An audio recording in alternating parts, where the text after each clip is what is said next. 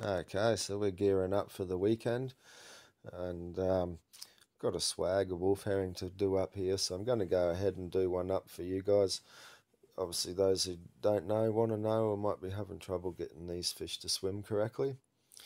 I've got some beautiful big ones here, some of them measuring up to 70 centimetres, uh, and some smaller ones around the 30 to 40 underneath.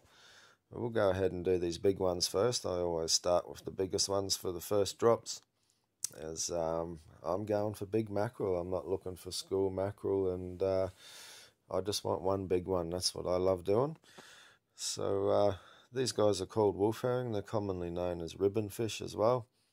Um, there's not they're not too difficult to do, but there's a few boxes you want to tick, and that way you can uh, know you've done the best you can with this bait and only blame it on the day if you don't catch any fish.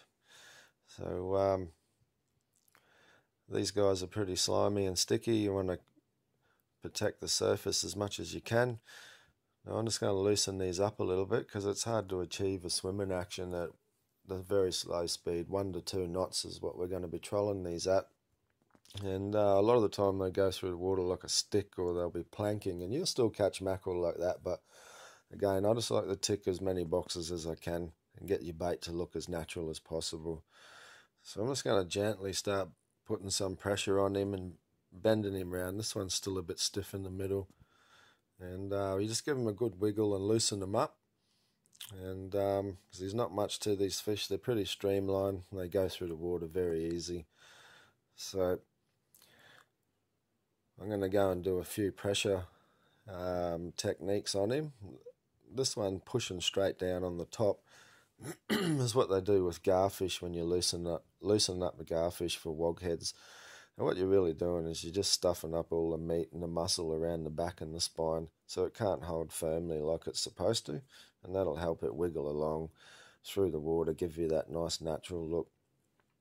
I stop about five inches from the tail and then I begin the one inch pressure squeezes from the top and about one inch apart from each other, pushing down hard enough so it kind of feels if you were to go any harder, you're going to break the skin, and you don't want to do that. Keep them looking nice. I'm also going to go and bend the tail quite hard. I'm going to put a fair bit of hurt on this tail. Um, normally the mackerel will always take off the tail first, and I want this bit to look really good. Just a nice little tail flick at a low speed. And you can't ask for any more than that with these fish. Now, uh, I'll loosen them up again in the morning and I'll pull them off the ice about 10 minutes before I drop them because they do stiffen up overnight just a little bit while they're sitting on ice. Now, um, I like to go in about half an inch or within half an inch off the bottom. This helps keep the weight down low aids the fish in swimming upright and not lopsided. Uh, once you go up over your 7 O's, 8 9 O hooks, it starts to get a lopsided effect if you're running the hooks down the body. So I don't do that anymore. I put them in through the bottom. and this keeps them nice and uh, tucked away as well as being as exposed as they can be with being in this fish. Now you want to keep it nice and straight. Don't let the fish bend downwards. If your rig's too tight, it will bend downwards and your fish will spin around in circles or swim stupidly through the water. I don't put this last hook in here because it tears through the belly, makes a big mess and all sorts of stuff comes out. Now these spikes, are, you want the first spike to come through in front of the eye, so when you put your tie on, whatever you're using, it's not covering the eyeball. I like to keep that open. It's quite hard to get the spikes through. You can put a pilot hole in first if you like, or use a pair of pliers and push them through. Watch your fingers and try and keep it straight. You want them to come through the centre of the head. Now just checking that rig's nice and straight and not too tight before you finish the last bit, which is just a band or a strap, a bit of wire or braid, whatever you want to use, um, around the front of the head here, and just hooking it on that first spike. He's looking really good to go. I'm happy with him. That'll be first drop tomorrow morning. I'll go and put a bag underneath all of these so that it keeps your wolf herring off the uh, jagged, sharp edges of your ice for your boat trip. Because you want to keep the surface as clean as you can as they knock up real quick. And this will help them stop smacking around on the ice. It's, uh, you know, it's half an hour to an hour to get out there depending on the weather. And um, most of these we'll bring home again and want to use again. So there's a little bit to look after them, keep them in good nick.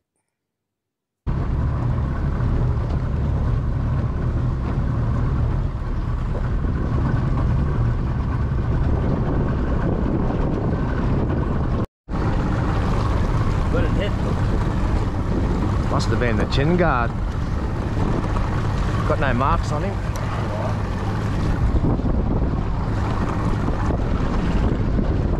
Flat bottom. So yeah, it's probably lined that boulder, that rock. It looks like it's going to fall in. Not too sharp, bro.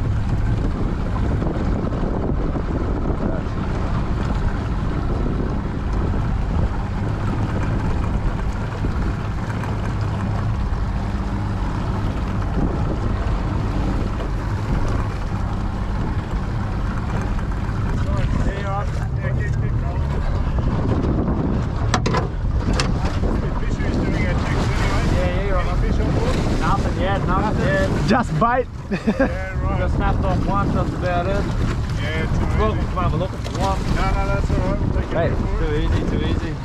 Where? All right, and Wait. you know your marine mark zones as well. Yep, So just here, still in the yellow zone. yep, yep, yep. So trolling three, three hooks per person. And you're bottom fishing just Bottom. one. Yep. Okay, mate. Thank you. All right, too easy. Wait. Too easy. Appreciate it, bud. Thanks, guys.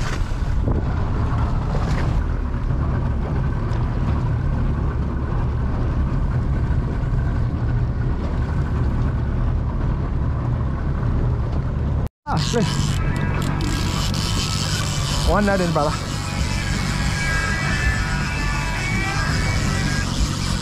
He's a big Spaniard. Oh, is it a cooter?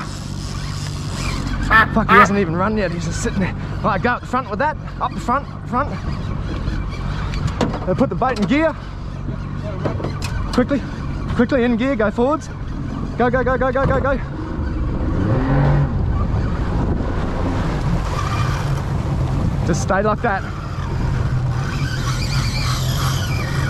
Big Spaniard, brother. Woo! Yet? Not yet. That's the way, just go that way. Turn a bit to the left, you're gonna swing into the rocks. That's it, stay there. Yes! Nearly 11 o'clock. Told you, hey, never give up, bro. Go neutral. Take the rod. Woo! Yeah, wait up. Yep, rod. Pull towards me. Woo! Yeah, baby. Watch your legs. Yep. Woo! Yes! I knew he'd be here somewhere. you big beauty. On the last pass, bro. We'll go 136. 136. 136 centnies. Oh. You want to go again, mate? Yeah, we'll go close here. While we're here, eh? Swoo-hoo-hoo. He's slabbed another big fatty. Oh, hey, I'll give this mackerel a shout out to my nephew, Regan Champion in New South Wales. There's your big dog, boy. yes. You want to open this here, mate? That's another episode for NQ Fishing and Spearing. Another beautiful big fat winter mackerel.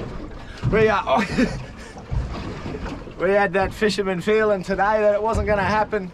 Easy four hours. You're not going to lie to you. We didn't just come here and catch one. We are actually going home. So we're actually very lucky. So hope you enjoy it. Another beautiful Spaniard. I think it's number five for me uh, this season. No, sorry, number four. And uh, spewing, we couldn't get Shane onto one, but he'll get half of this. And uh, hope you enjoy. We're going home. Awesome.